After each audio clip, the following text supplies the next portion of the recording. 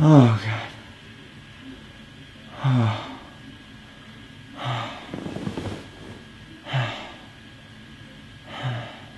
I had been having the same dream for the past three nights. Every night it was the same.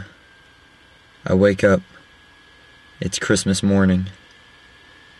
I slowly get out of bed and leave my room. I should be excited that it's Christmas morning, but I just seem confused and and no matter how eager I may be, I, I can't seem to hurry up. I walk down the hallway and and then I see the Christmas tree and I, I get excited and I see these presents and they're for me and I grab the first present and I open it up expecting something great and and it's not. It's not great at all. And so so I toss it to the side and I go for the second present. But they're all the same. Every single present that I open is the same thing. Every single present is a copy of James Cameron's Avatar. All I got for Christmas were DVDs of Avatar. And no matter how many presents I open, there's always one left. There's always another one under the tree.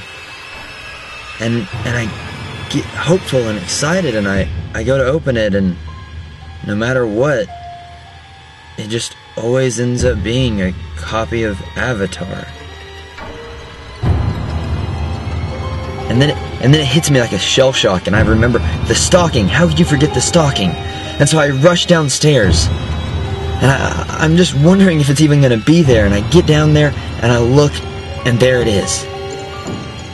And I, I become filled with hope again and excitement. And I go to it and I feel it and and it's heavy. And so I reach inside and I, I pull it out and and it's just another copy of Avatar. And I'm hurt and I'm confused and I'm perplexed and I don't know what to do. And then I remember, wait a second. There was something else in there.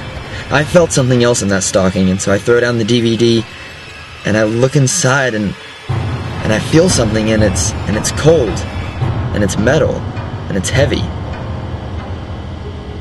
A gun. And I'm looking at this gun and I'm wondering why. And I'm just confused. And then I look up and suddenly I'm in my bathroom. And I'm looking at the gun and I'm looking at myself and all I can think of is all you got for Christmas were copies of James Cameron's Avatar. And so I, I put the gun to my head and I take a second and I convince myself to do it. And I close my eyes and then just as I pull the trigger,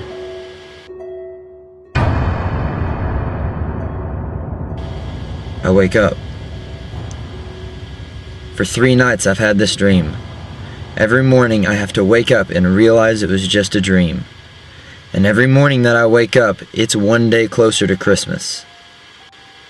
And every morning that I wake up, I wish just a little bit more that I was Jewish.